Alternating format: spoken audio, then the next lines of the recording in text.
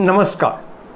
आज हम लोग जानने की कोशिश करेंगे एड्रिनल मेडुला के बारे में कि एड्रिनल मेडुला क्या होती हैं और इनके द्वारा कौन से हार्मोन सिक्रिट किए जाते हैं और यदि उस हार्मोन्स के इम्बैलेंस हो जाए तो हमारी बॉडी में क्या परेशानी आ जाएँगी।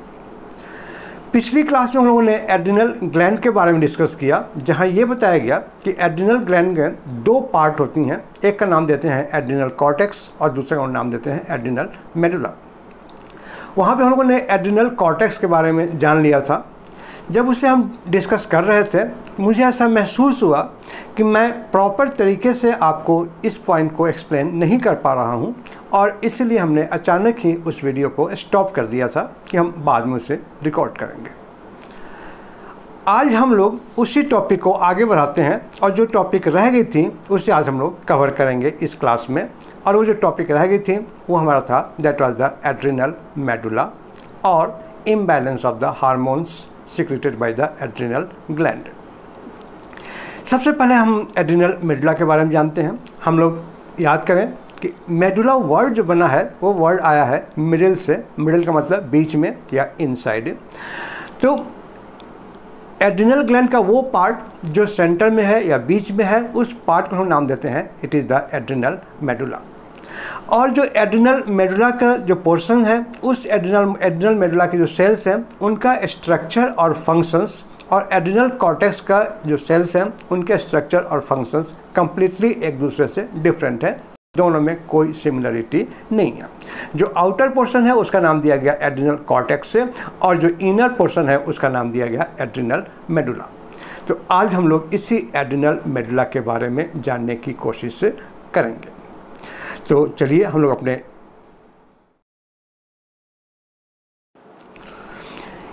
एड्रिनल मेडुला के द्वारा जो हार्मोन सिक्रीट होती हैं, उस हार्मोन को हम लोग नॉन एसेंशियल हार्मोन कहते हैं। वहीं पे जब हम लोगों ने एड्रिनल कॉर्टेक्स के बारे में स्टडी किया था तो वहाँ ये कहा गया था कि एड्रिनल कॉर्टेक्स के द्वारा जो हार्मोन सिक्रीट होती हैं, उसे हम लोग एसेंशियल हारमोन्स कहेंगे। एसेंशियल हारमोन्स इसलिए कहते हैं क्योंकि जो एड्रिनल मेडुला होंगी सॉरी एड्रिनल कॉर्टेक्स होंगी, यदि उस हारमोन का सिक्रेशन बंद हो जाए या एड्रिनल कॉर्टेक्स या एड्रिनल ग्लैंड को हम बॉडी से बाहर रिमूव कर दें तो पेशेंट का या पर्सन का सर्वाइवल मुश्किल हो जाती है और पर्सन का within few days death हो जाता है। इसलिए हम लोग उसे कहेंगे that are the essential hormones लेकिन जो एड्रिनल मेडुला के द्वारा हार्मोन सिक्रीट होती हैं, हमारे बॉडी को उसकी आवश्यकता है, लेकिन उसके एब्सेंस में हमारी बॉडी में डेथ नहीं होंगी और इसीलिए हम इसे कहेंगे it is a non essential hormones अब जो एड्रिनल मेडुला के हार्मोन्स को लोग एक नाम दे दिया कि it is a non essential hormone लेकिन इसी के साथ साथ इसी का हम लोग एक इसका हम लोग एक और नाम देते हैं that is the emergency hormone means कि जो एड्रिनल मेडुला के द्वारा हार्मोन सिक्रीट की जाती हैं, वो एमरजेंसी हार्मोन है. एमरजेंसी हार्मोन का मतलब क्या हुआ?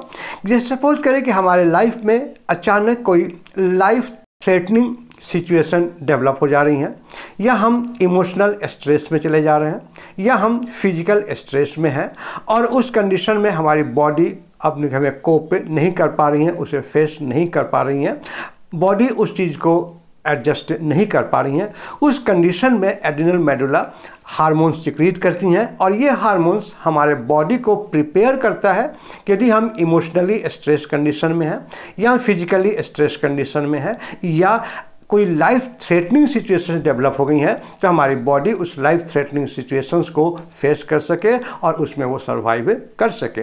इसलिए हम लोग जो एडिनल मेडला के हार्मोन्स होंगे, उसका नाम दिया गया it is the emergency hormones अभी जो एडिनल मेडला के हार्मोन जो इमरजेंसी हार्मोन्स हैं, इसको हम लोग इमरजेंसी हार्मोन्स के अलावा एक और नाम देते हैं कि ये फाइट एंड फ़्लाइट सिस्टम को स्टिमुलेट करता है। फाइट एंड फ़्लाइट सिस्टम का मतलब क्या हो गया? कि वैसा सिस्टम यदि हमारे सामने कोई लाइफ थ्रेटनिंग कंडीशन डेवलप हो रही हैं, या हम इमोशनल स्ट्रेस में हैं या हम फिजिकली स्ट्रेस में हैं तो उससे फाइट करने के लिए ये हार्मोन हमें पावर देता है, हमें कैपेसिटी देता है, हमारे अंदर एक बॉडी के ऑर्गन्स को इस तरह से डेवलप करता है कि हम उस लाइफ थ्रेटनिंग सिचुएशंस को फेस कर सकें और इसीलिए इसे नाम दिया गया फाइट दूसरा वर्ड दिया गया फ़्लाइट फ़्लाइट मतलब क्या हो गया कि यदि हम उस लाइफ थ्रेटनिंग सिचुएशंस को फेस कर रहे हैं, लेकिन हमारी बॉडी उसे फेस नहीं कर पा रही है, उस चैलेंज को एक्सेप्ट नहीं कर पा रही है तो उस कंडीशन में हम वहाँ से रन अवे या मतलब हम वहाँ से भाग जाते हैं, वहाँ से फ़्लाइट करते हैं, उस सिचुएशन से अपने आप को हम अलग कर लेते हैं। इसीलिए हम कहते हैं कि जो इमरजेंसी हार्मोन है, जो एड्रिनल ग्लैंड के एड्रिनल मेडुला के द्वारा जो हार्मोन सिक्रीट की जा रही हैं, उसे हम लोग नाम देते हैं it is a fight and flight system कि ये हार्मोन हमारे फाइट एंड फ़्लाइट सिस्टम को स्टिमुलेट करता है, ताकि हम अपने आप को सर्वाइव कर सकें, अपने आप को सेव कर रख सकें during the life threatening condition अब इस फाइट एंड फ़्लाइट सिस्टम में एक और नाम ऐड किया गया that is the fright means कि जो सिस्टम है, उसका कंप्लीट नाम होगा fight fright and flight system fight means उसे फेस करना फ़्लाइट मीन्स भय या डर लगना और फ़्लाइट मीन्स वहाँ से भाग जाना। मीन्स कि जो एड्रिनल ग्लैंड्स के द्वारा, जो एड्रिनल मेडुला के द्वारा जो हार्मोन सिक्रीट करेंगी, हमारे बॉडी को इस तरह से प्रिपेयर करेंगी कि हम उस लाइफ थ्रेटनिंग कंडीशन से फाइट करें।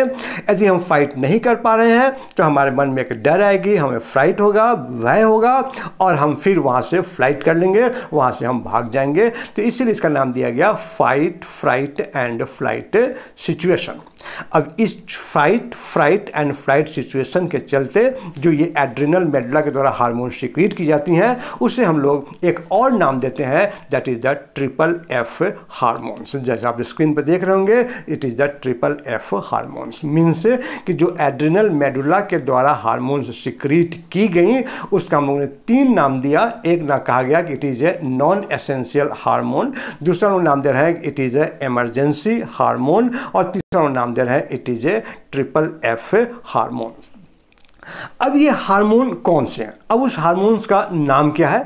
तो एड्रिनल मेडुला के द्वारा जो हार्मोन स्वीकृत की जाती हैं, उसका नाम है adrenaline and noradrenaline adrenaline and noradrenaline means adrenaline and noradrenaline है, ये हमारे एमरजेंसी हार्मोन्स हैं.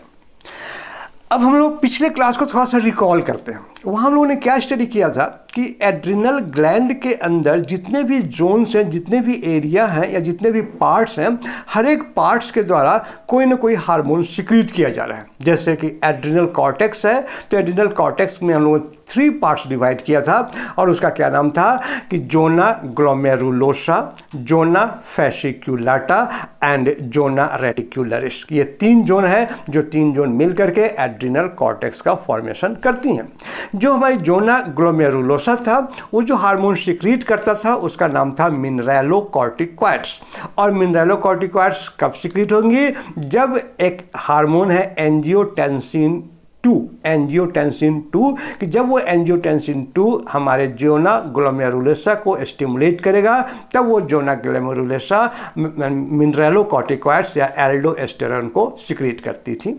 दूसरा नाम था हमारा जोना फैसिक्यूलेटा तो जोना फैसिक्यूलेटा के द्वारा ग्लूकोकॉर्टिकॉइड्स को सिक्रीट किया जाता था, और इसके सिक्रीशन को स्टिमुलेट करता है A C T H adrenocorticotropic hormone ये जो एड्रीनोकॉर्टिकोट्रॉपिक हार्मोन हार्मोन है, ये पिट्यूटरी ग्लैंड से सिक्रीट होती है, और वो हार्मोन हमारे एडिनल ग्लैंड के अंदर एडिनल कॉर्टेक्स में एंटर करेंगे, और वो जोना फैसिकुलाटा को स्टिमुलेट करती थी टू सिक्रीट ग्लूकोकॉर्टिक्वाइड्स तीसरा पार्ट हमारा जोना रेटिकुलरिस। जोना रेटिकुलरिस भी एसीटीएच के द्वारा ही स्टिमुलेट होता था, और ये जो जोना रेटिकुलरिस है जो ए सी टी एच इसे स्टिमुलेट करती थी तो इसके द्वारा सेक्स हार्मोन का सिक्रीशन या सेक्स हार्मोन्स की सिंथेसिस और सिक्रीशन की जाती थी। अब आई बारी हमारी एड्रिनल मेडुला का। तो हम लोग जान चुके हैं कि एड्रिनल मेडुला के द्वारा जो हार्मोन सिक्रीट हो रही हैं, उसका नाम है एड्रिनलिन एंड नॉर एड्रिनलिन और इसका जो सिक्रीशन का स्टिमुलेशन है वो स्टिमुलेशन होता है by the sympathetic nervous system कि हमारे बॉडी के अंदर सिंपैथेटिक नर्वस सिस्टम है। वो sympathetic nervous system adrenal medulla को स्टिमुलेट करती हैं और जब सिंपैथेटिक सिस्टम इस एड्रिनल मेडुला को स्टिमुलेट करेंगी तो उस कंडीशन में एड्रिनल मेडुला एड्रिनलिन और नॉन एड्रिनलिन को सिक्रिएट करेगा, जो कि एक एमरजेंसी हार्मोन है या एक ट्रिपल एफ़ हार्मोन है। अब यहाँ पे एक बात का ध्यान रखना है।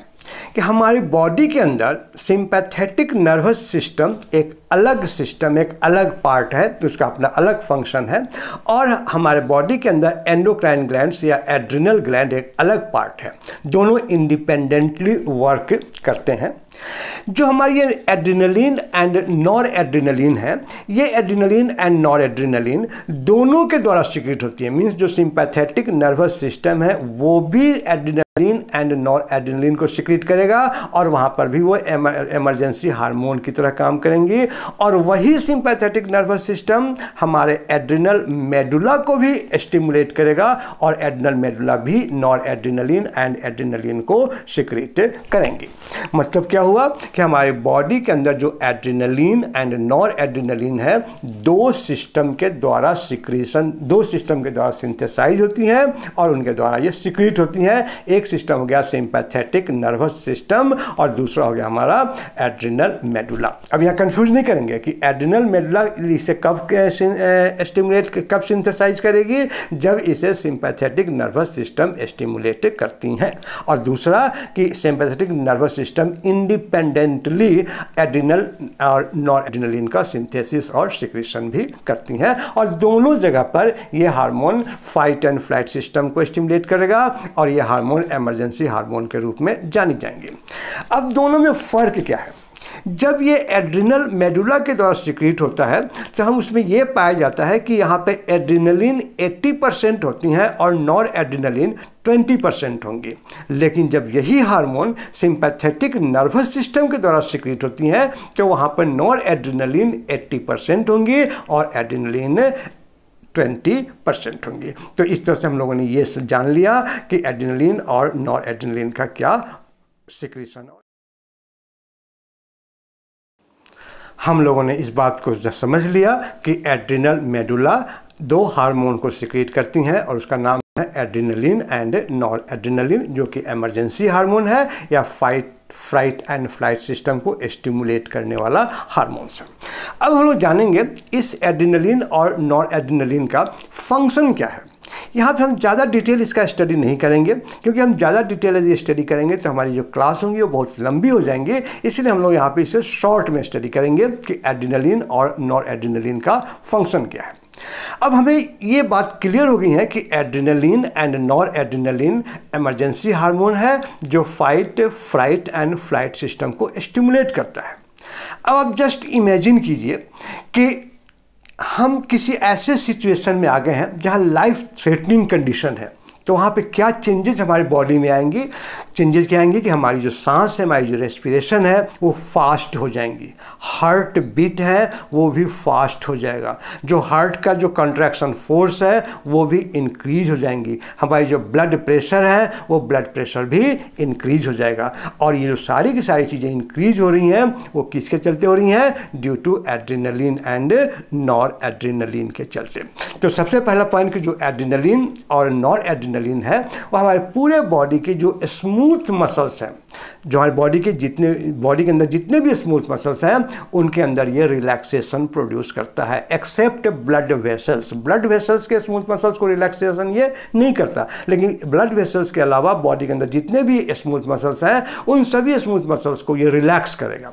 और रिलैक्सेशन करने से क्या होगा कि सपोज़ करें कि लंग्स के अंदर हमारी साँसें तेज चल रही है। मीन्स लंग्स के अंदर स्मूथ मसल्स हैं, वो रिलैक्स हो गए। रिलैक्स होने का मतलब क्या हुआ कि लंग्स का जो साइज़ है, वो साइज़ इंक्रीज हो जाएगा। और जब उसका साइज़ इंक्रीज हो जाएगा तो उस समय कहते हैं ब्रोंको डायलेशन और जब ब्रोंको डायलेशन होगी तो ज़्यादा से ज़्यादा एयर हमारे लंग्स के अंदर एंटर करेंगी। और जो हमारा रेट ऑफ़ रेस्पिरेशन है, वो रेट ऑफ़ रेस्पिरेशन फास्ट हो जाएगा। फिर कहा जा रहा है कि हमारी जो जीआईटी है, वहाँ पे पेरिस्टाल्टिक मूवमेंट होती हैं। अब ये पेरिस्टाल्टिक मूवमेंट क्या है? कि जीआईटी के अंदर जो कॉन्ट्रैक्शन और रिलैक्सेशन होती है, उसे कहते हैं हम लोग पेरिस्टाल्टिक मूवमेंट अब क्या हुआ कि ये स्मूथ मसल रिलैक्स हो गई रिलैक्स होने मतलब क्या हुआ कि जो जी का भी स्मूथ मसल है, वो भी रिलैक्स हो जाएँगी। मतलब जी में कॉन्स्ट्रैक्ट कॉन्स्ट्रिक्शन और रिलैक्सेशन नहीं होगा। नतीजा होगा कि पेरिस्टाल्टिक मूवमेंट जो होंगी वो स्लो हो जाएँगी। अब इसका जो कार्डियक मसल्स के ऊपर क्या इफ़ेक्ट होगा? हम लोग जान चुके हैं कि हमारा हार्ट बीट इंक्रीज हो जाता है मीन्स ये कार्डियक मसल्स को स्टिमुलेट कर देता है और स्टिमुलेट करने से हमारी जो हार्ट बीट होंगी, वो हार्ट बीट इंक्रीज हो जाएँगी। और जब हार्ट बीट इंक्रीज हो जाएँगी तो जो हमारी हार्ट का फोर्स ऑफ़ कॉन्ट्रैक्शन है, वो फोर्स ऑफ़ कॉन्ट्रैक्शन भी इंक्रीज होगा। और जब फोर्स ऑफ़ कॉन्ट्रैक्शन इंक्रीज होगा तो ज़्यादा ब्लड हमारे आर्टरीज और वेन के अंदर एंटर करेंगे। और जब ज़्यादा ब्लड हमारी ब्लड वेसल्स में एंटर करेंगी तो हमारी जो ब्लड प्रेशर्स हैं, वो ब्लड प्रेशर से इंक्रीज हो जाएँगी। तो इस तरह से हम लोगों ने ये देखा कि जो एड्रिनल एड्रिनलिन और नॉन एड्रिनलिन है, हमारे बॉडी के ऊपर क्या इफ़ेक्ट प्रोड्यूस कर रही हैं। ये हम लोगों ने शॉर्ट में डिस्कशन किया कि एडिनलिन और नॉर एडिनोलिन लंग्स के अंदर ब्रोंकोडाइलेशन प्रोड्यूस करता है ताकि रेट ऑफ़ रेस्पिरेशन बढ़ सके, ज़्यादा से ज़्यादा एयर हमारे बॉडी के अंदर एंटर कर सके। कार्डियक मसल्स को स्टिमुलेट करेगा ताकि हार्ट बीट इंक्रीज हो जाए, या जो कॉन्ट्रैक्शन फोर्स इंक्रीज हो जाए और उससे ब्लड प्रेशर इंक्रीज होगी और उससे हमारे बॉडी के अंदर एक एनर्जी आएगी और हम उस लाइफ थ्रेटनिंग सिचुएशन को फेस कर पाएँगे और उस लाइफ थ्रेटनिंग सिचुएशन में हम वहाँ से अपने आप को अलग भी कर पाएँगे due to energy produced by this adrenaline and noradrenaline अब लोग देखते हैं कुछ पार्ट्स में कि जो हमारी बॉडी के अंदर कुछ पार्ट्स हैं, जैसे कि स्प्लिन है स्किन है आर्टेरियोल है, या इनको ये कॉन्ट्रैक्ट कर कॉन्स्ट्रिक्ट करेगी और जो ब्लड प्रेशर है, उसे ब्लड प्रेशर को ये इंक्रीज करेगा। इस तरह से हम लोगों ने आज ये स्टडी किया कि एड्रिनल मेडुला के द्वारा कौन से हार्मोन सिक्रीट होती हैं और वो हार्मोन हमारे बॉडी में क्या फ़ंक्शन परफॉर्म करता है। अब जो नेक्स्ट सेक्शन है, उस सेक्शन में हम लोग ये जानेंगे कि जो एड्रिनल ग्लैंड है, सिर्फ़ एड्रिनल मेडुला नहीं, जो एड्रिनल ग्लैंड है, इनके द्वारा जो हार्मोन्स सिक्रीट हो रही हैं, यदि उन हार्मोन्स का सिक्रीशंस ज़्यादा हो गया या उन हार्मोन्स की सिक्रीशंस कम हो गई तो हमारे बॉडी में कौन कौन से डिज़ीज़ डेवलप हो सकते हैं या कौन कौन से हमारे बॉडी में डिसऑर्डर से आ सकते हैं। वो हार्मोन्स क्या क्या है? एक बार रिवाइज कर लेते हैं कि ग्लूकोकॉर्टिकॉइड से सॉरी हमारी जो जोना जोना ग्लोमेरुलोसा है, उसके द्वारा जो हार्मोन सिक्रीट की जा रही हैं, उसका नाम है मिनरलो कॉर्टिकॉइड्स जो हमारी जोना फैसिक्यूलाटा है, उसके द्वारा जो हार्मोन सिक्रीट की जा रही हैं, वो हमारा है ग्लूकोकॉर्टिकॉइड्स और जो जोना रेटिक्यूलरिस है, उसके द्वारा जो हार्मोन सिक्रीट हो रही हैं दैट इज़ सेक्स हार्मोन, और लास्ट हमारा है एड्रिनल मेडुला और एड्रिनल मेडुला के द्वारा जो हार्मोन सिक्रिएट हो रही हैं, उसका नाम है एड्रिनलिन एंड नॉर एड्रिनलिन तो अगले सेक्शन में हम लोग ये जानेंगे कि इनके अंदर इनके अंदर यदि कोई ये जानेंगे कि इनके अंदर कोई यदि इम्बैलेंस हो गया तो हमारे बॉडी में उसका क्या डिसऑर्डर डेवलप होंगे।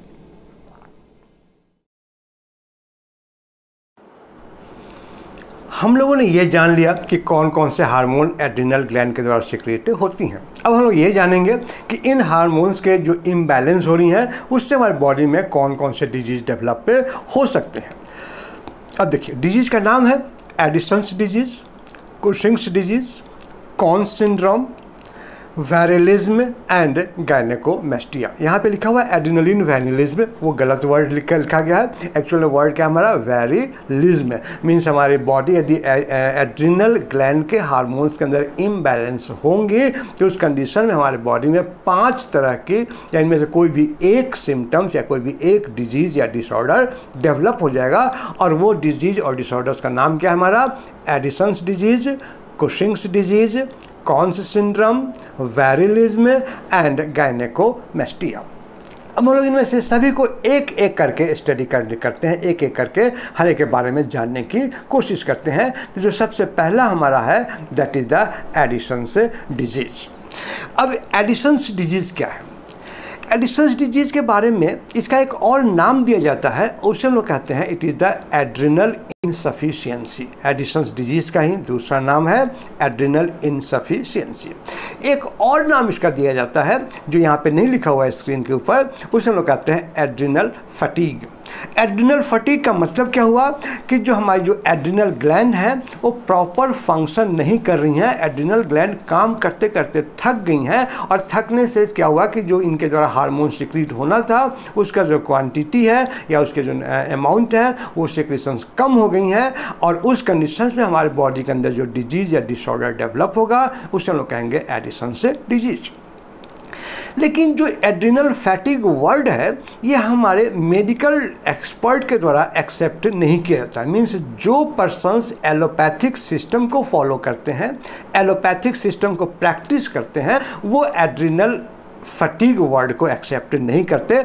उनका कहना है कि एडिनल फटीग नाम का कोई चीज़ नहीं होती। लेकिन जो अल्टरनेट मेडिसिन हैं, जैसे जो दूसरे आयुर्वेदिक हैं होम्योपैथिक है या और कोई जो पैथी है, वहाँ पे इस एड्रिनल एड्रिनल फैटिक वर्ड का यूज़ किया जाता है। तो चूँकि हम लोग भी एलोपैथिक सिस्टम को ही फॉलो करते हैं तो हम लोग भी इस वर्ड का यूज़ नहीं करेंगे। हम इसे दो वर्ड यूज़ करेंगे कि इसका नाम एडिसंस डिज़ीज़ होगा या इसका नाम एड्रिनल इनसफिशियंसी होगा। अब जो एड्रिनल इनसफिशियंसी एड्रिनल इनसफिशियंसी यहाँ वर्ड है इनसफिशियंसी इनसफिशियंसी का मतलब क्या हुआ? कि एड्रिनल ग्लैंड सफिशियंट अमाउंट में एड्रिनल हार्मोन्स को सिक्रीट नहीं कर रही हैं। मतलब कि एड्रिनल ग्लैंड है, वो अंडर एक्टिविटी है। अंडर एक्टिव है मतलब अंडर एक्टिव मतलब कि वो प्रॉपर तरह से फ़ंक्शन नहीं कर रही हैं।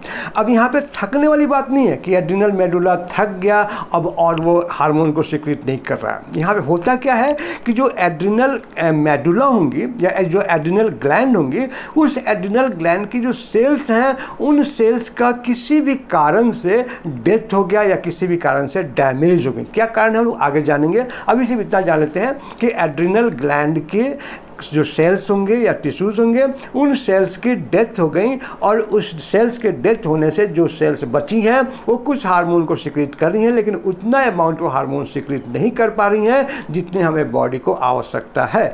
तब हम क्या नाम देंगे? It is the adrenal insufficiency या it is the Addison's disease अब जो एड्रिनल इनसफिशेंसी है एक्चुअल में ये जो सिम्टम डेवलप होता है due to in due to decrease in synthesis of cortisol and aldosterone cortisol and aldosterone अब जो ये कॉर्टिसोल है, या ये कॉर्टिसोल है दिस इज़ द ग्लूकोकॉर्टिक्वाइड्स जो ग्लूकोकॉर्टिक्वाइड्स है, वो हमारा कोलेस्ट्रॉल है, और जो एल्डोस्टेरॉल है, वो हमारा क्या है that is the mineralocorticoids sorry मैं मैं फिर से रिपीट कर दे रहा हूँ कि जो कॉर्टिसोल है, ये ग्लूकोकॉर्टिक्वाइड्स है, और जो एल्डोस्टेरॉल है, वो हमारा मिनरेलो कॉर्टिक्वाइड्स है. मीन्स कि जब बॉडी के अंदर अंदर ग्लूकोकॉर्टिकॉइड्स का लेवल एंड मिनरलोकॉर्टिकॉइड्स का लेवल, या दोनों में से किसी एक का लेवल भी कम हो गया तो उससे हमारे बॉडी में जो डिसऑर्डर्स डेवलप होंगी,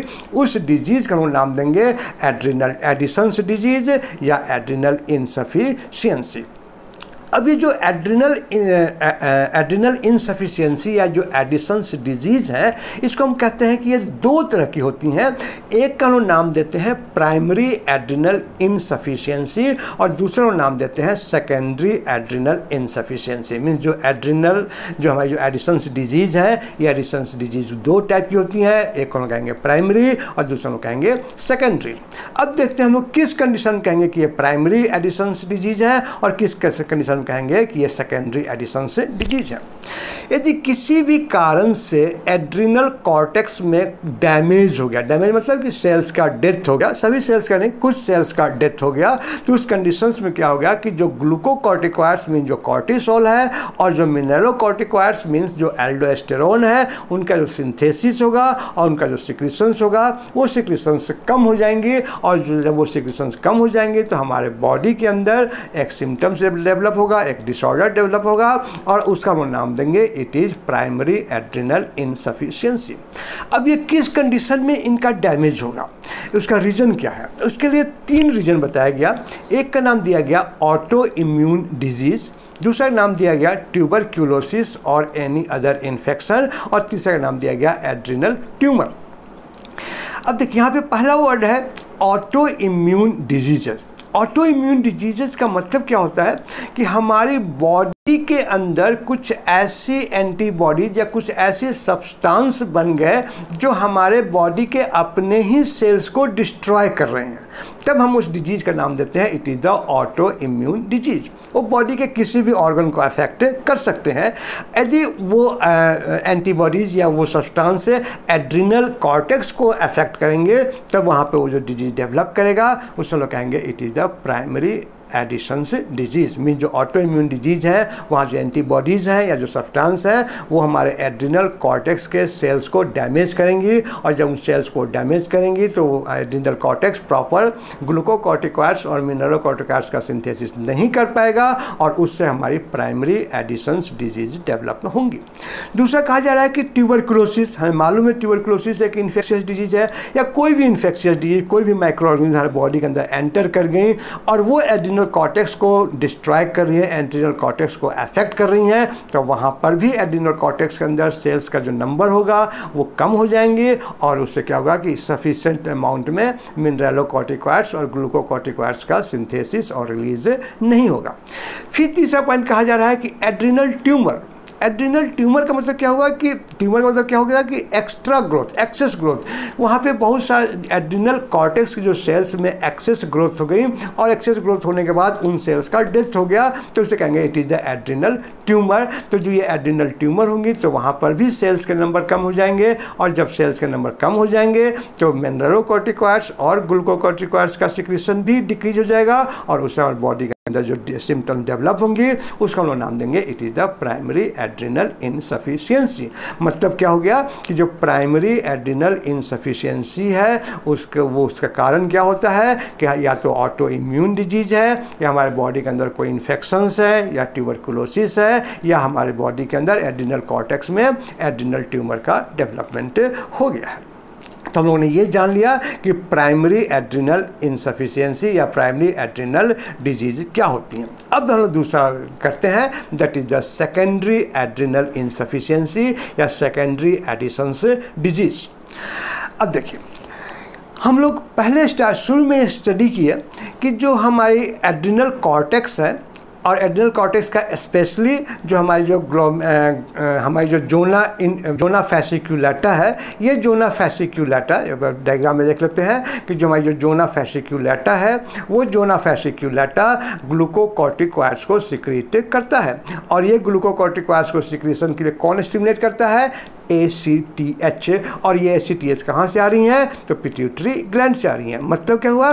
कि यदि किसी भी कारण से ए सी टी एच का सिक्रीशन नहीं होगा तो उस कंडीशन में जोना फैसिक्यूलटा ग्लूकोकॉर्टिकॉइड्स को सिक्रीट नहीं करेंगी और हमारे बॉडी में ग्लूकोकॉर्टिकॉइड्स की डेफिशिएंसी आ जाएगी और उस डेफिशिएंसी से जो सिम्टम्स डेवलप होंगी, उस सिम्टम्स को नाम देंगे it is the secondary adrenal insufficiency या सेकेंडरी एडिशंस डिज़ीज़ अब हम लोग इस डायग्राम से देखने की, समझने की कोशिश करते हैं कि हमारे पास, अब देखिए, हम लोगों ने एक स्टडी किया था जो एंडोक्राइन ग्लैंड स्टडी कर रहे थे कि पिट्यूटरी ग्लैंड एक मास्टर ग्लैंड है और हाइपोथैलमस भी मास्टर ग्लैंड है।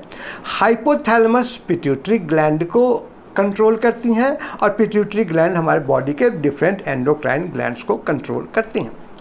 अब जो पिट्यूटरी ग्लैंड है, वो एसीटीएच को सिक्रीट कर रहा है। A C T H means adrenocorticotropic hormone अभी जो एड्रीनो कॉर्टिकोट्रॉपिक हार्मोन है, इसकी जो सिक्रीशन हो रही है पिट्यूटरी ग्लैंड के द्वारा, वो कब सिक्रीट होंगी? जब हाइपोथैलेमस सी आर एच को सिक्रीट करेगा और हाइपोथैलेमस इस सी आर एच को पिट्यूटरी ग्लैंड में भेजेगा और पिट्यूटरी ग्लैंड फिर इस सी आर एच के रिस्पॉन्स में ए सी टी एच को सिक्रीट करेंगी और वो A C T H adrenal gland या एडिनल कॉर्टेक्स में एंटर करेंगी और वहाँ पे वो ग्लोमेरुला फैसिकुलेटा को स्टिमुलेट करेंगी और वो ग्लोमेरुला फैसिकुलेटा फिर ग्लूकोकॉर्टिकॉइड्स को सिंथेसाइज करेगा और रिलीज़ करेगा। और जो सारी की सारी मैकेनिज्म है, वो फीडबैक मैकेनिज्म के द्वारा कंट्रोल होती हैं। यदि सपोज़ करें किसी कारण से सी आर एच का सिक्रेशन बंद हो गया तो क्या हो गया पिट्यूटरी ग्लैंड ए को सिक्रेट नहीं करेगी और जब वो एच सिक्रेट नहीं करेंगी तो हमारी जो एड्रिनल कॉर्टेक्स है, वो हमारे ग्लूकोकॉर्टिकॉइड्स को सिक्रेट नहीं करेंगे। मीन्स किसी भी कारण, किसी भी कोई, यदि हमारे पिट्यूटरी ग्लैंड में कोई प्रॉब्लम हो गई तो हमारी ग्लूकोकॉर्टिकॉइड्स का सिक्रेशन ब्लॉक हो जाएगा। या हाइपोथैलेमस में कोई प्रॉब्लम हो गई, तब भी हमारे ग्लूकोकॉर्टिकॉइड्स का सिक्रेशन ब्लॉक हो जाएगा। और जो ये ब्लॉक हो रहा है और उससे से जो जो सिम्टम्स डेवलप होंगे, उससे हम लोग कहेंगे it is the secondary adrenal insufficiency या सेकेंडरी एडिशन से डिज़ीज़ अब देखिए यहाँ पे हमने फ्लो चार्ट बनाया हुआ था। अब इसको हम डायग्राम से देख रहे हैं कि हमारी हाइपोथैलेमस है, वो सी आर एच को सिक्रिएट कर रही हैं, और यहाँ पे पिट्यूटरी ग्लैंड है, वो pituitary gland A C T H को सिक्रिएट कर रही हैं, और A C T H adrenal में जा रहा है, और एड्रिनल फिर हमारे ग्लूकोकॉर्टिकॉइड को सिक्रिएट कर रही हैं। अब दूसरा हम डायग्राम देखते हैं कि किसी कारण से पिट्यूटरी ग्लैंड में कोई प्रॉब्लम आ गई, और वो ए को सिक्रेशन को ब्लॉक कर दिया। जब A C T H secretion block हो जाएगा तो एड्रिनल ग्लैंड की के द्वारा भी ग्लूकोकॉर्टिकॉइड का सिक्रेशन बंद हो जाएगा। तीसरा कारण क्या हो सकता है कि हाइपोथैलेमस ब्लॉक हो गया, कि हाइपोथैलेमस है, वो सी को सिक्रेट नहीं कर पा रहा है। जब वो सीआरएच को सिक्रेट नहीं करेगा तो उसे कहेंगे वो ए को सिक्रेट नहीं करे पिट्यूटरी ग्लैंड ए को सिक्रेट नहीं करेगा, और जब पिट्यूटरी ग्लैंड ए को सिक्रेट नहीं करेगा तो एड्रीनल ग्लैंड भी ग्लूकोकॉर्टिकॉइड्स को सिक्रेट नहीं करेंगी। तो हम लोगों ने ये समझ लिया कि जो एड्रिनल ग्लैंड है सॉरी जो हमारी जो एड्रिनल इनसफिशियंसी है, वो दो तरह की होती हैं। एक का नाम दिया गया प्राइमरी और दूसरा का नाम दिया गया सेकेंडरी प्राइमरी किसे चलते हो रहा है? Due to damage in the adrenal gland और सेकेंडरी किसमें किसके चलते हो रहा है? Due to damage in pituitary gland और इन द हाइपोथैलेमस हम लोगों ने यह जान लिया कि एड्रिनल इनसफिशियंसी क्या होता है। अब हम लोग ये जानने की कोशिश करेंगे कि जो एड्रिनल इनसफिशियंसी हो गई मीन्स कि हमारे बॉडी में प्रॉपर ग्लूकोकॉर्टिकॉइड सिक्रिट नहीं हुए तो उससे जो हमारी बॉडी के अंदर क्या क्या सिम्टम्स डेवलप होंगे इन सिम्टम्स को समझने से पहले थोड़ा सा हम लोग अपने बैकग्राउंड में जाते हैं, जो पिछले क्लास में उन्होंने स्टडी किया था, कि मिनरलो कॉर्टिकॉइड्स मिनरलो में मतलब क्या हो गया? एल्डोस्टेरॉन कि हमारे बॉडी में जो एल्डोस्टेरॉन है, उसका फ़ंक्शन क्या है? उसको रिकॉल करें। उसका फ़ंक्शन क्या बताया गया था कि जो एल्डोस्टेरॉन है या जो हमारे जो मिनरलोकॉर्टिकॉइड्स हैं, वो सोडियम के रीअब्जॉर्प्शंस को किडनी के अंदर रीनल ट्यूब्यूल के अंदर डिजिटल रीनल ट्यूब्यूल के अंदर, ये हमारे सोडियम के रीएब्जॉर्प्शन को इनक्रीज करता है वाटर के रीएब्जॉर्प्शन को इंक्रीज करता है पोटासियम के एक्सक्रीशन को इंक्रीज करता है और हाइड्रोजन आयन मीन्स प्रोटोन के एक्सक्रीशन को इंक्रीज करेगा। मीन्स कि जो मिनरलोकॉर्टिकॉइड्स होंगे, हमारे ब्लड में सोडियम लेवल को मेंटेन करने में हेल्प कर रहा है। पोटासियम के को हेल्प कर रहा है मेंटेन करने में हेल्प कर रहा है। वाटर को मेंटेन करने में हेल्प कर रहा है और ब्लड के पीएच को भी मेंटेन कर रहा है। बाय द एसिडोसिस मीन्स ये हमारी बॉडी में अल्केलोसिस प्रोड्यूस करता है, हमारे ब्लड के पीएच को अल्कलाइन बनाता है। अब हम किसी कोई पर्सन है, उस पर्सन के अंदर एडिसन्स डिज़ीज़ हो गई और किसके चलते हुई वो? यदि वो एल्डोस्टेरोन या मिनरलो कॉर्टिकॉइड्स के डेफिशिएंसी से होगी, नतीजा क्या होगा? कि बॉडी के अंदर सोडियम का रीएब्जॉर्प्शन नहीं होगा मीन्स ब्लड में सोडियम का लेवल डिक्रीज हो जाएगा। पोटासियम का एक्सक्रीशन नहीं होगा तो पोटासियम का जो लेवल होगा वो इंक्रीज हो जाएगा। हाइड्रोजन आयन मीन्स प्रोटोन का एक्सक्रीशन नहीं होगा तो ब्लड का जो पीएच होगा वो एसिडिक हो जाएगा। जा ये वाटर का रीएब्जॉर्शन नहीं होगा तो यूरिन का जो फ्लो होगा वो फ्लो इंक्रीज हो जाएगा। और जब वाटर का रीअब्जॉर्शन नहीं होगा तो हमारे बॉडी के अंदर जो ब्लड का वॉल्यूम है, वो ब्लड का वॉल्यूम भी डिक्रीज हो जाएगा। तो these are the effect of the deficiency of the mineralocorticoids अब इससे क्या होगा? ये तो हमने जान लिया कि ये डिफेक्ट हो गई, लेकिन हमारे अंदर सिम्टम्स क्या आएँगे? हमें कैसे पता चलेगा कि पर्सनस के अंदर मिनरलो कॉर्टिकॉइड्स का या एल्डोस्टेरॉन की डेफिशिएंसी हो गई है? ये हमारी इफ़ेक्ट हो गई। अब हम लोग जानेंगे इस इफ़ेक्ट से हमारे बॉडी में क्या सिम्टम्स डेवलप होंगे। तो सबसे पहला सिम्टम्स क्या डेवलप होगा कि जो पर्सनस होंगे, वो उस पर्सन का जो ब्लड प्रेशर होगा, वो ब्लड प्रेशर बहुत ही कम हो जाएगा। ब्लड वॉल्यूम कम हो गई और ब्लड वॉल्यूम कम हो गई तो ब्लड प्रेशर कम हो गया। बॉडी के अंदर सोडियम का लेवल कम हो गया। जब सोडियम का लेवल कम हो जाएगा तो हमारी जो मसल्स होंगी, वो मसल्स प्रॉपर काम नहीं कर पाएँगी। मसल्स की पोलराइजेशन और डीपोलराइजेशन नहीं होंगी और मसल्स के अंदर वीकनेस आ जाएगी। जो मसल्स होंगी, वो मसल्स फैटीग हो जाएँगे। यही नहीं, जो हमारी जो आ, सी एन एस है उसमें लाइट हेडेडनेस आ जाएँगी हमें डिजीनेस आ जाएँगी। अब यहाँ पे दो वर्ड आ गया डिजीनेस एंड लाइट हेडेडनेस ये दो वर्ड क्या है? डिजीनेस का मतलब क्या हो गया? चक्कर आना। मीन्स हम हम कि हम स्टैंडिंग पोजीशन में हम इतना कम वीक हो गए इतना कमज़ोर हो गए हैं कि हमारे सर में हमारे जो सी में वो राउंड राउंड रोटेशन हो रही है तो हम उसे कहेंगे हमें डिजीनेस आ रही है हम चक्कर होकर बैठ जाएँगे या गिर जाएँगे।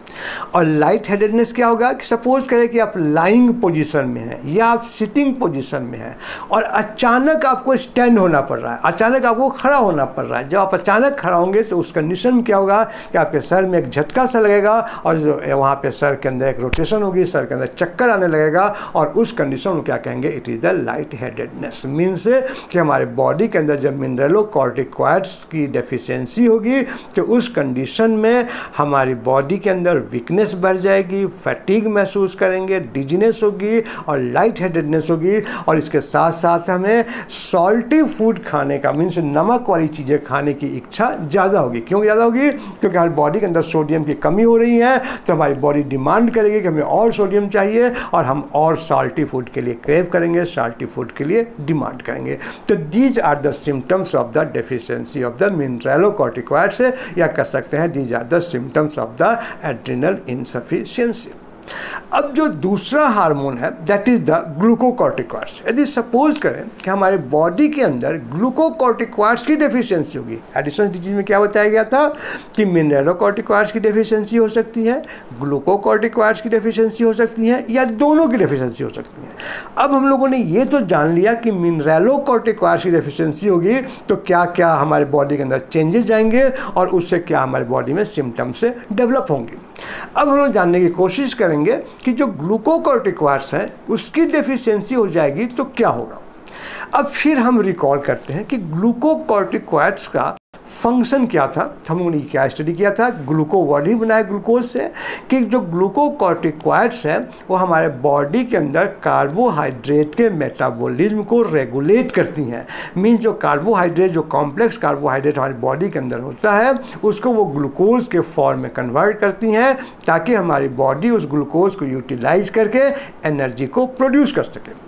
अब सपोज़ करें कि बॉडी में ग्लूकोकॉर्टिकॉइड्स की डेफिशिएंसी हो गई मीन्स कि बॉडी के अंदर कार्बोहाइड्रेट तो मौजूद है, लेकिन वो कार्बोहाइड्रेट ग्लूकोज में कन्वर्ट नहीं हो रहा है। और जब वो ग्लूकोज में कन्वर्ट नहीं हो रहा है तो हमारी बॉडी के अंदर ग्लूकोज के द्वारा एनर्जी प्रोड्यूस नहीं होगा, और नतीजा कि हमारे अंदर टायर्डनेस आ जाएगी, हमारे के अंदर कमज़ोरी महसूस होगी।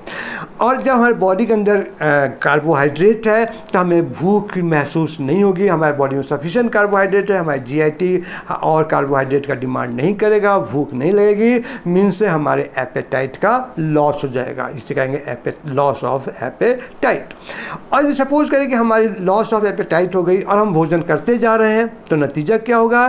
ग्लूकोकॉर्टिकॉइड डेफिशिएंसी में कि पर्सन को डायरिया या कॉन्स्टिपेशन हो जाएगा, person nausea and vomiting feel करेंगे। तो क्या क्या सिम्टम उन्होंने जान लिया कि ग्लूकोकॉर्टिकॉइड्स की डेफिशिएंसी में कार्बोहाइड्रेट का मेटाबॉलिज्म नहीं हो रहा है, उसका नतीजा क्या हो रहा है कि हमें भूख नहीं लग रही है और यदि हम उसको खा रहे हैं तो हमारे बॉडी में डायरिया या कॉन्स्टिपेशन डेवलप हो रहा है और हम नोजिया एंड वॉमिटिंग फील कर रहे हैं। इसके अलावा हमारे बॉडी में एनर्जी नहीं है तो हम टायर्डनेस मीन्स आप ऊपर पढ़ चुके हैं मिनरलोकॉर्टिकॉइड्स भी टायर्डनेस प्रोड्यूस करता है फैटिक प्रोड्यूस करता है वीकनेस प्रोड्यूस कर रहा है, और जो ग्लूकोकॉर्टिकॉइड्स हैं, ये भी हमारी बॉडी के अंदर टायर्डनेस वीकनेस या फैटिक प्रोड्यूस करेंगी। इसके अलावा हमारी बॉडी में वेट लॉस हो जाएगा। जो मसल्स हैं, उस मसल्स को एनर्जी नहीं मिलेंगी तो मसल्स के अंदर पेन होगा।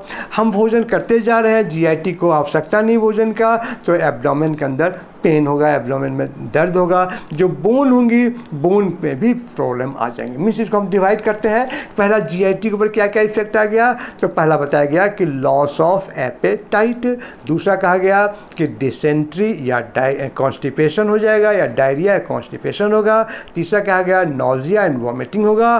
और चौथा क्या कहा गया कि जो एब्डोमेन है एब्डोमिनल पेन स्टार्ट हो जाएँगे।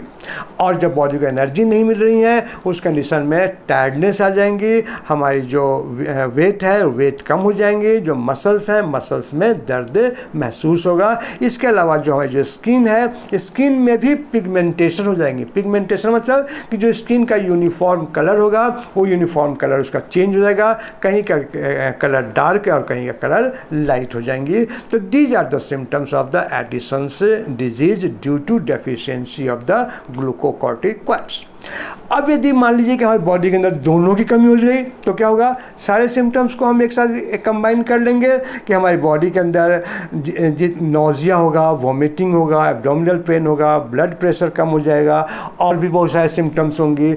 और यदि हम इनका ट्रीटमेंट नहीं किए, इनको कंट्रोल नहीं किए तो जो पर्सन होगा, उस पर्सन का डेथ हो जाएगा। इसीलिए इस ग्लूकोकॉर्टिकॉइड्स और मिनरलोकॉर्टिकॉइड्स को हम लोग एक और नाम देते हैं that was the emergency hormone की इसे हम लोग पहले क्लास में पढ़े थे कि दो, दोनों हार्मोन है इमरजेंसी हार्मोन है यदि इस हार्मोन की हमारी बॉडी में एब्सेंस हो गई तो उस कंडीशन में पर्सन और उससे हम लोगों ने ट्रीट नहीं किया तो पर्सन का डेथ हो जाएगा। अब हम लोग इसी सिम्टम्स को इस डायग्राम से समझने समझने की कोशिश करते हैं। देखिए, क्या कहा कहा जा रहा है, सबसे पहला ब्लॉक में है कि पर्सन वीकनेस महसूस करेगा फैटिग महसूस करेगा डिजीनेस महसूस करेगा लाइट हेडेडनेस महसूस करेगा। यहाँ पे जो सिम्टम्स है, दोनों को हमने कंबाइन कर लिया। मिनरलोकॉर्टिकॉइड्स के डेफिशिएंसी के द्वारा जो होगा और ग्लूकोकॉर्टिकॉइड्स की डेफिशिएंसी के द्वारा जो सिम्टम डेवलप दोनों को हम लोग कंबाइन कर लिए। दूसरा ब्लॉक में क्या कहा जा रहा है कि हम साल्टी फ़ूड के लिए क्रेव करेंगे। हमारी जो ब्लड प्रेशर होगी, वो ब्लड प्रेशर कम हो जाएँगी।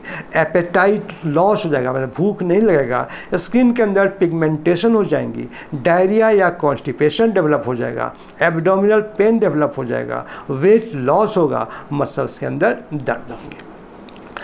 अब इसी एडिसन्स डिज़ीज़ के साथ एक और वर्ड अटैच है उससे हम लोग कहते हैं एड्रिनल क्राइसिस एड्रिनल क्राइसिस मतलब कि जो ये एडिशंस डिज़ीज़ के सिम्टम्स है, वो सिम्टम्स बहुत ज़्यादा एक्सग्रेट हो गए। एक्सग्रेट मतलब बहुत ज़्यादा बढ़ गए और कंडीशन ऐसा आ गया कि यदि पर्सन का प्रॉपर ट्रीटमेंट नहीं किया जा रहा है तो पर्सन की डेथ हो जाएगी। तो हम उसे उस कंडीशन का नाम देंगे it is the adrenal crisis और एड्रिनल क्राइसिस का क्या क्या सिम्टम्स हैं? तो fever syncope hypoglycaemia hypoglycaemia means glucose का लेवल कम हो गया। हाइपोनेट्रेमिया हाइपोनेट्रेमिया मतलब कि बॉडी में सोडियम का लेवल लेवल कम हो गया और ये सारे सीवियर होंगे। सीवियर मतलब बहुत ही एक्सट्रीम कंडीशन में होंगी और साथ साथ पेशेंट को वॉमिटिंग भी होगा और डायरिया भी होगा। और यदि एड्रिनल क्राइसिस डेवलप हो रही है बॉडी के अंदर और हम उसका ट्रीटमेंट नहीं कर रहे हैं तो उसका नेट रिज़ल्ट आएगा। That is the death of the patient तो हम लोगों ने ये जाना कि एडिसन्स डिज़ीज़ क्या होती है। अब हम लोग आते हैं दूसरे डिज़ीज़ पे। उसका नाम है कुशिंग्स डिज़ीज़ अब कुशिंग डिज़ीज़ क्या है? जस्ट उसका अपोजिट है। मीन्स कि जो एड्रिनल ग्लैंड की जो डेफिशिएंसी थी, जो मिनरलो कॉर्टिकॉइड्स और ग्लूको ग्लूकोकॉर्टिकॉइड्स जो डेफिशिएंसी डेवलप हो के चलते जो सिम्टम डेवलप हो रही थी, उसका नाम गया इन सॉरी एड्रिनल इनसफिशियंसी अब यदि सपोज़ करें, किसी कारण से हमारे बॉडी के अंदर इन हार्मोन का सिक्रिशंस ज़्यादा हो गया मीन्स ग्लूको यहाँ पे मिनरलोकॉर्टिकॉइड्स का बहुत ज़्यादा रोल नहीं होता। मेन रोल होता हमारा ग्लूकोकॉर्टिकॉइड्स का, कि ग्लूकोकॉर्टिकॉइड्स का सिक्रिशंस बहुत ज़्यादा हो गया तो उस कंडीशन में क्या होगा कि हमारे बॉडी के अंदर जो सिम्टम्स डेवलप होंगे, उसका लोग नाम देते हैं it is the Cushing's disease अब देखिए, कि जो हम लोग वहाँ पे जान लिया किस रीजन से एड्रिनल इनसफिशियंसी डेवलप हो रही थी। अब हम लोग जानेंगे किस रीजन से कुशिंग्स डिज़ीज़ डेवलप होगा। यदि सपोज़ करें कि हम रेगुलरली बहुत लंबे समय से एक्सेसिव फ़िज़िकल स्ट्रेस में मतलब बहुत ज़्यादा हम फ़िज़िकल वर्क कर रहे हैं। जैसे मान लीजिए कि हम एक्सरसाइज कर रहे हैं और अनकंट्रोल बहुत होते हैं कि उनको मैनिया होता है कि हमें एक्सरसाइज करना है एक्सरसाइज करना है, अपने वेट को लॉस करना है और वो अनकंट्रोल्ड एक्सरसाइज करते रहते हैं या अनकंट्रोल्ड फ़िज़िकल वर्क कर रहे होते हैं तो उस कंडीशन में क्या होता है कि हमारे बॉडी के अंदर ग्लूकोकॉर्टिकॉइड्स की रिक्वायरमेंट बढ़ जाती हैं और हमारी जो एडिनल ग्लैंड है, वो इस तरह से एडजस्ट हो जाएँगी कि वो ज़्यादा ग्लूकोकॉर्टिकॉइड्स को सिक्रिएट करेंगी। और जब वही चीज़ बहुत लंबे समय तक चलता रहेगा, हमारा मतलब मतलब कि जो फ़िज़िकल एक्सरसाइज है या फ़िज़िकल वर्क है या फ़िज़िकल स्ट्रेस है, बहुत लॉन्ग ड्यूरेशन से चलता रहेगा तो एडिनल ग्लैंड रूटीन में एक्सेस हारमोन्स ग्लूकोकॉर्टिकॉइड्स को सिक्रेट करना शुरू कर देगा। और जब इस तरह के रूटीन में ग्लूकोकॉर्टिकॉइड्स की एक्सेस सिक्रेशन होगी तो जो सिम्टम डेवलप होगा, वो दैट इज़ द कोसिंग से डिज़ीज़ ठीक इसी तरह से इमोशनल स्ट्रेस इमोशनल स्ट्रेस मतलब कि हम बहुत लंबे समय से एंजाइटी में है, चिंता कर रहे हैं, किसी बात के बारे में सोचे जा रहे हैं, उसका कोई सॉल्यूशन नहीं मिल रहा है, फिर भी हमारे दिमागी तौर पर हम परेशान हैं। अब हमें मालूम है कि हमें जब हम किसी चीज़ को सोचते हैं, हमारा जो ब्रेन वर्क करता है, उसके लिए भी एनर्जी की आवश्यकता होती है और वो एनर्जी कहाँ से मिलती हैं? ग्लूकोज से मिलती हैं। अब उस ग्लूकोज की एनर्जी को फुलफिल करने के लिए हमारी जो एड्रिनल मेडुल एड्रिनल ग्लैंड है मतलब एड्रिनल कॉर्टेक्स है, वो ग्लूकोकॉर्टिकॉइड्स के सिक्रेशन को इंक्रीज कर देगा।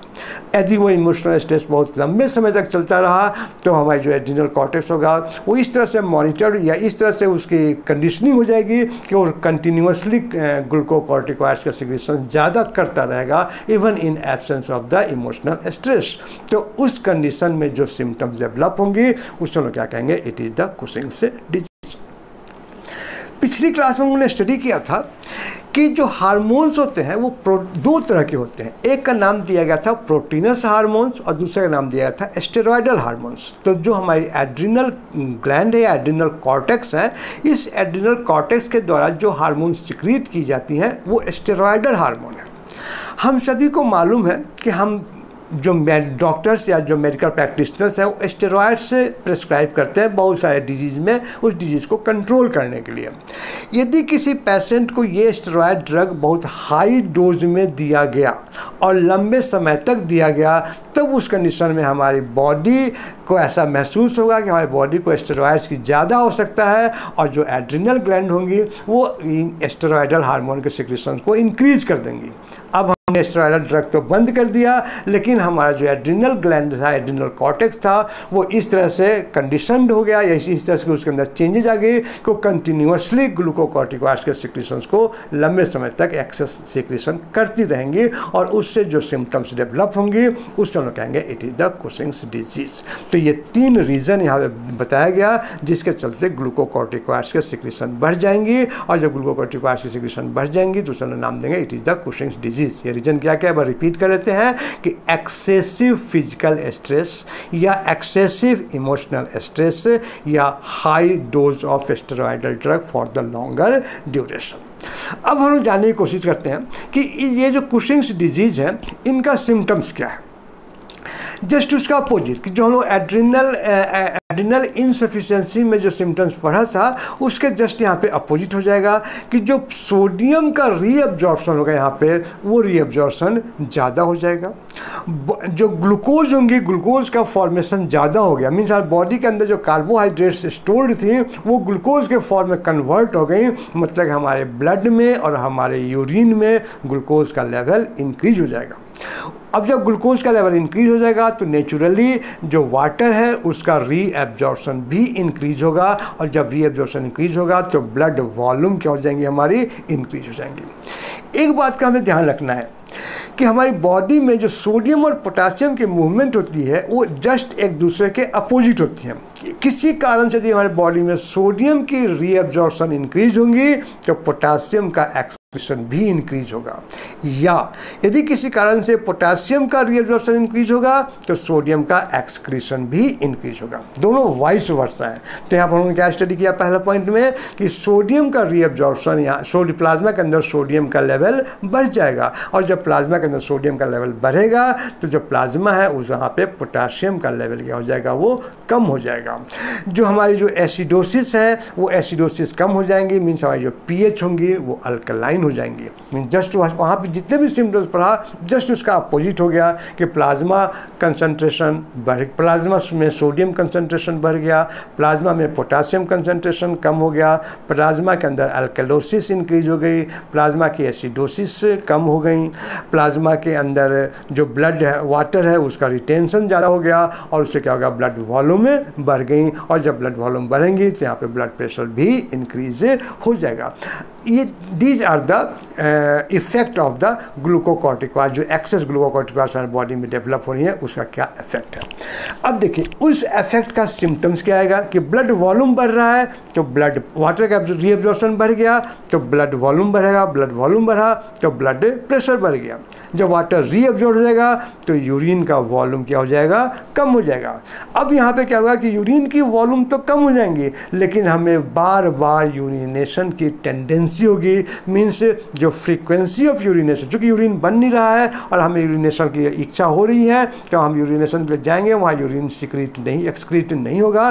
मीन जो फ्रीक्वेंसी ऑफ़ यूरिनेशन होगी, वो यूरिनेशन इंक्रीज हो जाएँगी। अब चूँकि यूरिनेशन नहीं बन रहा है यूरि, यूरिनेशन नहीं हो रहा है यूरिन का फॉर्मेशन नहीं हो रहा है तो हमें जो प्यास है जो थर्स्ट है वो थर्स्ट भी इंक्रीज हो जाएगा। जो मसल्स है मसल्स के अंदर पोटासियम की कमी हो गई तो वहाँ पर भी क्या होगा मसल्स के अंदर मसल्स के अंदर वीकनेस आ जाएँगी। दूसरा जो वीक बोन्स होंगे वो बोन वीक हो जाएँगे जो स्किन है वो स्किन थिन हो जाएँगी। इसके अलावा और भी बहुत सारे सिम्टम्स होंगे कि जो हमारी जो चूँकि बॉडी में ग्लूकोज का लेवल बढ़ गया तो उस कंडीशन में क्या होगा कि जो हमारे वोन्स होंगी, जो घाव बन जाएँगे, उसकी प्रॉपर हीलिंग नहीं होंगी। बॉडी के अंदर कार्बोहाइड्रेट डिपोजिट हो जाएँगी, जो हमारे स्पेशली जो नेक का पोर्शन है, वहाँ पे वहाँ पे फैट डिपोजिट हो जाएगा और वहाँ पे एक स्वेलिंग आ जाएगी। जो एब्डोमेन है एब्डोमेन एरिया में स्वेलिंग हो जाएगी। हमारे बॉडी के अंदर ग्लूकोकॉर्टिकॉस ज़्यादा है एनर्जी लेवल बढ़ गई तो इरिटेशन भी इंक्रीज होगा। और जब एनर्जी लेवल बढ़ जाएँगी तो मूड स्विंग भी होंगे। मूड स्विंग मतलब कि कभी हम अचानक डिप्रेशन में चले जाएँगे, कभी हम अचानक स्टिमुलेशन में चले जाएँगे। मीन्स डिप्रेशन और स्टिमुलेशन होता रहेगा। और जो लेडीज़ हैं वुमेन हैं, उनके अंदर जो मेंस्ट्रुएशन साइकिल होंगी, वो मेंस्ट्रुएशन साइकिल ब्लॉक हो जाएँगी और जो फेशियल हेयर है, वहाँ पे फेशियल हेयर डेवलप हो जाएगा। तो these are the symptoms of the Cushing's disease और ये जो सारे सिम्टम्स हैं जस्ट अपोजिट होंगे किसके? तो एडिशंस इनसफिशियंसी के।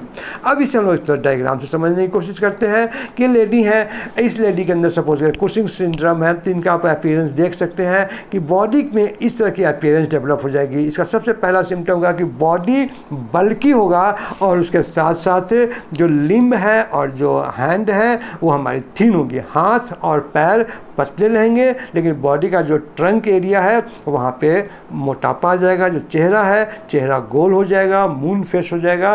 तो हम देखते हैं इसके अंदर क्या क्या सिम्टम्स डेवलप हो रही हैं। तो कहा गया, इसे देखते चले हम लोग कि इसका अंदर डिप्रेशन हो रहा है। हम लोग सिम्टम्स पढ़ चुके हैं, हम सिर्फ़ डायग्राम से देखने की कोशिश कर रहे हैं कि यहाँ पर डिप्रेशन हो गया। यहाँ लिखा हुआ है बुफेलो हम बुफेलो हम मतलब कि जो नेक एरिया है, वहाँ पर फैट की डिपोजिशन हो गई। जो वोन्स बन रहे हैं, वो वोन्स की हीलिंग नहीं होंगी। जो कि स्किन थिन हो गई तो स्किन के अंदर खरोच या कट कट खरोच वगैरह बहुत आसानी से लग जाएगी और जो हैंड होंगे वो हैंड और लेग दोनों ही थिन होंगे। दूसरा क्या कहा गया कि वो जो फीमेल है तो फीमेल के अंदर बाल्डनेस आ जाएगी। उनका चेहरा गोल हो जाएगा राउंड फेस हो जाएगा, जिसे हम लोग कहते हैं मून फेस जो विजन होगा, वो ब्लड विजन हो जाएगा, चेहरे पे एक्ने का फॉर्मेशन हो जाएगा बॉडी के अंदर वाटर रिटेंशन होगी, उससे बॉडी वेट इंक्रीज हो जाएगा बॉडी के अंदर एडिमा आ जाएँगी, और बॉडी वेट बढ़ गया बॉडी के अंदर वाटर रिटेंशन हो गई, और उसके साथ साथ फैटिक या वीकनेस भी डेवलप होगी। जो एब्डोमेन एरिया है, वहाँ पर भी फैट डिपोजिट हो जाएगा, और वो काफ़ी बाहर बल्कि हो जाएगा मीन्स बॉडी में ओबेसिटी डेवलप हो जाएँगे तो these are the symptoms of the Cushing's disease तो अभी हम लोगों ने दो डिज़ीज़ स्टडी कर लिया मेन डिज़ीज़ उसका एक का नाम हो गया था एडिसन्स डिज़ीज़ और दूसरे का नाम हो गया that is the Cushing's disease यही दो मेन डिज़ीज़ थे, बाकी जो तीन डिज़ीज़ हैं छोटे छोटे से डिज़ीज़ हैं। थोड़ा सा पैसेंस रखें, हो सकता है वीडियो थोड़ा लंबा हो रहा हो, लेकिन थोड़ा सा पैसेंस रखेंगे, आगे का भी हम लोग स्टडी कर लेंगे अच्छी तरीके से। जो तीसरा डिज़ीज़ है, उसका नाम है कॉन्स डिज़ीज़ अब ये जो कॉन्स डिज़ीज़ है इसका सॉरी कौन से सिंड्रोम ये जो कौन से सिंड्रोम है, इस कौन से सिंड्रोम का एक और नाम दिया जाता है primary hyper aldosteronism means aldosterone aldosteroids क्या थी हमारी? That was the mineralocorticoids यदि हमारी बॉडी में सिर्फ़ मिनरेलो कॉर्टिक्वाइड्स का सिक्रेशन इंक्रीज हो रहा है तो उससे जो सिम्टम्स बॉडी में डेवलप होंगे, उसको हम लोग कहेंगे इट इज़ द कौन से सिंड्रोम या कौन से डिज़ीज़ अब ये देखिए रीजन लिखा हुआ है कि excess secretion of the aldosterone means mineralocorticoid से या जो जोना ग्लोमेरुलोसा है, वहाँ पर ट्यूमर बन गया। अब देखो, ट्यूमर में वहाँ वहाँ एक जब हमने ट्यूमर पढ़ा कि ट्यूमर में दो चीज़ें हो सकती हैं कि ट्यूमर के अंदर डेड सेल्स भी हो सकती हैं और ट्यूमर के अंदर लिविंग सेल्स भी हो सकती हैं। तो यदि मान लीजिए जोना ग्लोमेरुलोसा है, जो मिनरेलो कॉर्टिकॉइड्स को सिक्रीट कर रहा है और वहाँ ट्यूमर्स बन गई और वो ट्यूमर्स लिविंग सेल्स हैं मीन्स जो ट्यूमर्स हैं, जो सेल्स हैं सेल्स का नंबर बहुत ज़्यादा बढ़ गया। तो उस कंडीशन में क्या होगा कि जोना ग्लोमेरुलोसा मिनरलो कॉर्टिकॉइड्स के सिक्रेशंस को इंक्रीज कर देगा और उसका जो सिक्रेशंस इंक्रीज होगा, उससे हमारे बॉडी के अंदर सिंड्रोम डेवलप होगी, उसे हम क्या कहेंगे? कौन से सिंड्रोम अब इसका सिम्टम समझना बहुत आसान है। यदि हमें मिनरलो कॉर्टिकॉइड्स के फ़ंक्शंस के बारे में फ़ंक्शंस याद है तो बहुत आसानी से हम कह सकते हैं कि कौन से सिंड्रोम के सिम्टम्स क्या क्या होंगे। मिनरलो कॉर्टिकॉइड्स के क्या फ़ंक्शंस था? याद कीजिए रिकॉल करें कि मिनरलो कॉर्टिकॉइड्स का पहला फ़ंक्शन बताया गया था कि ये रीनल ट्यूब्यूल के डिजिटल रीनल ट्यूब्यूल में सोडियम के रीएब्जॉर्प्शन को इंक्रीज करता है। वाटर के रीएब्जॉर्प्शन को इंक्रीज करता है पोटासियम के एक्सक्रीशन को इंक्रीज करता है और हाइड्रोजन आयन के एक्सक्रीशन को इंक्रीज करता है मीन्स ब्लड के अंदर ये एल्केलोसिस प्रोड्यूस करेगा ब्लड के पीएच को इंक्रीज करेगा। अब उसका क्या हो गया कि हमारे पास मिनरलोकॉर्टिकॉइड्स और ज़्यादा, बहुत ज़्यादा आ गई मीन्स जो सोडियम होगा उसका रीअब्जॉर्सन बहुत ज़्यादा हो जाएगा तो बॉडी में प्लाज्मा सॉरी प्लाज्मा के अंदर सोडियम लेवल इंक्रीज हो जाएँगी। पोटासियम का एक्सक्रीशन होगा तो प्लाज्मा में पोटासियम लेवल डिक्रीज हो जाएँगी। वाटर का रीअब्जॉर्प्शन होगा तो ब्लड का वॉल्यूम बढ़ जाएगा। अब ब्लड का वॉल्यूम भी बढ़ गया और सोडियम का अमाउंट भी ज़्यादा हो गया तो नतीजा क्या होगा? ब्लड प्रेशर आ जाएँगे। अभी जो जो भी वाटर किडनी में जा रही हैं, वो किडनी से वाटर एब्जॉर्ब हो जा रही हैं, किडनी के पास वाटर रह नहीं रही है, हमें और और प्यास लगेगी मीन जो थर्स्ट होगी, वो थर्स्ट इंक्रीज हो जाएँगी। अब चूँकि ये सोडियम लेवल ब्लड प्रेशर हमारे बढ़ गया तो हमारे हमेशा सर में दर्द रहेगा मसल्स के अंदर वीकनेस होंगी, या मसल्स में क्रैम्प महसूस होगा।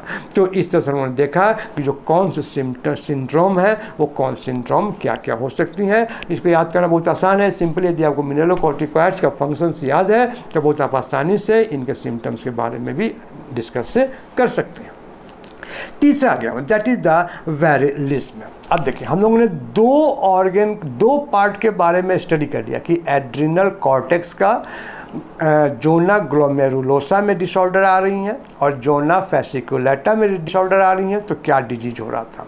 अब जो तीसरा पार्ट बचा that is the zona reticularis याद आ रहा होगा कि एड्रिनल कॉर्टेक्स के तीन पार्ट थे zona glomerulosa zona fasciculata and zona reticularis अब हम लोग देखेंगे कि जोना रेटिकुलरिस के अंदर यदि डिसऑर्डर्स हो गए तो उस कंडीशन में, वहाँ पे क्या कंडीशन डेवलप होंगी? तो उसका हम नाम देते हैं इट इज़ द वेरिलिज्म अब हमें मालूम है कि जो जोना रेटिकुलरिस है, उसके द्वारा जो हार्मोन सिक्रीट की जाती हैं, वो हार्मोन हमारी सेक्स हार्मोन है means male sex hormone and female sex hormone. अब सपोज़ करें कि फीमेल है, और फीमेल के अंदर जो मेल सेक्स हार्मोन्स है, वो ज़्यादा सिक्रीट हो गई हमारे जोना रेटिकुलरिस से। तो नतीजा क्या होगा कि है तो वो वुमेन लेकिन उनके अंदर मेल का सेकेंडरी सेक्स कैरेक्टर डेवलप हो जाएगा। सेकेंडरी सेक्स कैरेक्टर क्या क्या हो क्या हो सकता है? कि उनकी जो आवाज़ होंगी, वो मेल की तरह हॉर्स हो जाएँगी या भारी हो जाएँगी या हैवीनेस उसके अंदर आ जाएगा। जो वुमेन होंगी उनके चेहरे पे फेशियल हेयर का ग्रोथ हो जाएगा। जो क्लोराइटिस है उनका जो सेक्सुअल पार्ट है उनका जो उनका जो फीमेल रिप्रोडक्टिव ऑर्गन का जो पार्ट है जहाँ पे क्लोराइटिस होती है उस क्लोराइटिस की ग्रोथ हो जाएगी और वो जो ग्रोथ होंगी वो पेनिस की तरह हो जाएँगी। मीन्स जो, जो मेल के अंदर जो पेनिस का होता है उस साइज़ से उनकी जो क्लोराइटिस का ग्रोथ हो जाएगा और क्लोराइटिस का साइज़ पेनिस हालाँकि पेनिस इतना लेंथ उसका नहीं होगा लेकिन फिर भी उसका नॉर्मल से ज़्यादा हो जाएगी। मीन्स कि जो फीमेल होंगी, उस फीमेल के अंदर मेल सेक्स मेल के सेकेंडरी सेक्स करेक्टर से डेवलप हो जाएँगे। जैसे आप डायग्राम से हम देखते हैं कि ये डायग्राम है हमारे पास है कि जैसे जैसे हमारी जो बढ़ रही हैं, मान लीजिए स्टेज वन है तो वहाँ पे हमारी जो हेयर ग्रोथ है, वो कम है। अब स्टेज टू में आएँगे, वो हेयर ग्रोथ जेनाइटल एरिया में भी और पूरे बॉडी में भी हेयर ग्रोथ बढ़ जाएँगी। और स्टेज थ्री है और स्टेज फोर है। मीन जैसे जैसे ये इसका सिक्रेशन बढ़ता जाएगा, वैसे वैसे फीमेल के अंदर हेयर ग्रोथ इंक्रीज होती चली जाएँगी। ये बैक साइड का दिखाया गया कि कैसे उनके बॉडी पर हेयर ग्रोथ इंक्रीज हो रही हैं। अब देखिए क्लोराइटिस है यदि मेल के अंदर ये नॉर्मल है कि इस तरह की पेनिस का फॉर्मेशन होता है, लेकिन जो फीमेल होंगी, उस फीमेल का जो पहला पॉइंट है, यहाँ पे ये यह हमारी क्लोराइटिस होती हैं। लेकिन यदि देखिए, यहाँ पे लिखा हुआ है clitoris growth in female means की जो यदि हम, ये hormone male hormone male sex hormone female में ज़्यादा सिक्रीट हो रही हैं तो जो क्लोराइटिस होंगी उसका साइज़ होगा, वो धीरे धीरे बढ़ता चला जाएगा। मीन्स वो पेनिस की तरफ़ हालाँकि पेनिस इतना लेंथ नहीं होगा, लेकिन फिर भी उनका जो साइज़ होगा, वो इंक्रीज हो जाएगा। और ये जो डिसऑर्डर्स हमारी लेडीज़ के अंदर डेवलप होंगी तो उसमें क्या नाम देंगे it is the virilism अब जस्ट इसका अपोजिट यदि सपोज़ करें कि मेल है और मेल के अंदर जो एड्रिनल एड्रिनल ये ये डायग्राम देख लीजिए। डायग्राम में थोड़ा सा वहाँ पर उसी डायग्राम यहाँ पे क्लियर कर दिखाया गया है कि किस तरह से उनके बॉडी के अंदर हेयर ग्रोथ इंक्रीज होता चला जा रहा है बॉडी के पूरे पार्ट में इंटरनल पार्ट में भी इंटरनल ऑर्गन में भी फीमेल रिप्रोडक्टिव ऑर्गन में भी और वैसे पूरे बॉडी के सर्फेस एरिया में हेयर ग्रोथ इंक्रीज हो जाता है। अब हम लोग आते हैं। लास्ट हमारा ये डिज़ीज़ है। यदि सपोज़ करें कि जो हमारी जो जोना रेटिक्वेरिस है, वो मेल के अंदर फीमेल सेक्स हार्मोन के सिक्रेशंस को बढ़ा दिया। नतीजा कि जो मेल होंगे, उस मेल के अंदर फीमेल की सेकेंडरी सेक्स कैरेक्टर्स डेवलप हो जाएँगे। अब वो सेकेंडरी सेक्स कैरेक्टर्स क्या है? बहुत एक सिंपल है कि उनके जो मेमोरी ग्लैंड्स हैं मीन जैसे लेडीज़ के अंदर मेमोरी ग्लैंड्स इनलार्ज होती हैं ब्रेस्ट इनलार्ज होते हैं तो वैसी ही इनलार्जमेंट मेल के बॉडी में आ जाएँगी। और और इसलिए आप डायग्राफ देख सकते हैं कि ये हमारा इनलार्ज ब्रेस्ट का है और ये हमारा नॉर्मल ब्रेस्ट है। मीन्स मेल का नॉर्मल ब्रेस्ट इस तरह की होती हैं और जो इनलार्ज ब्रेस्ट है, उसका शेप इस तरह का होता है। तो इस तरह से हम लोग देखते हैं कि और ये जो कंडीशन होगा, इसको लोग क्या नाम देंगे? It is the gynaecomastia means इस तरह से हम लोगों ने कंप्लीट किया ये chapter that is the adrenal gland और मुझे अफसोस हो रहा है कि मैंने जिसका पहला जो भाग बनाया था, वो उतना ज़्यादा एक्सप्लेनेशन उसका सटीक नहीं हो पाया था। थोड़ी सी प्रॉब्लम आ गई थी, जिसके वजह मुझे ब्रेक करना पड़ा। मुझे उम्मीद है कि आपको ये सारी जो क्लासेस हैं, जो सारी पॉइंट हैं सेटिस्फाइड होंगे आप आपको सारे पॉइंट क्लियर हो गए होंगे। यदि आप इससे सेटिस्फाइड हैं तो आप कमेंट ज़रूर दीजिए लिखिए कि आपको कैसा सेटिस्फेक्शन हुआ। और मैं इसलिए आपसे ये कमेंट ले कर रहा हूँ कि मुझे ऐसा महसूस हो रहा है कि आपने इस पूरे वीडियो को अंत तक देखा मीन्स आपको स्टडी में इंटरेस्ट है। और आप अपने नॉलेज को इम्प्रूव करना चाहते हैं तो आप ज़रूर कमेंट बॉक्स में लिखें कि आपको ये वीडियो कैसा लगा। यदि यहाँ कहीं पे कोई कमी महसूस हो रही है तो हमें बताएँ कि ये कमी महसूस है, ये कमी यहाँ पे है, ताकि मैं उस कमी को दूर कर सकूँ। और यदि कोई आपको अच्छा लग है तो आप ये भी लिखिए कि आपको अच्छा लगा और आपको सारे पॉइंट समझ में आई, ताकि हमें एक इंकरेजमेंट मिले कि मैं जो ये मेहनत कर रहा हूँ, जो ये लेबर आपके लिए कर रहा हूँ, वो आपके लिए काम आ रहे हैं। Thank you very much for remaining with me for such a long duration thank you very much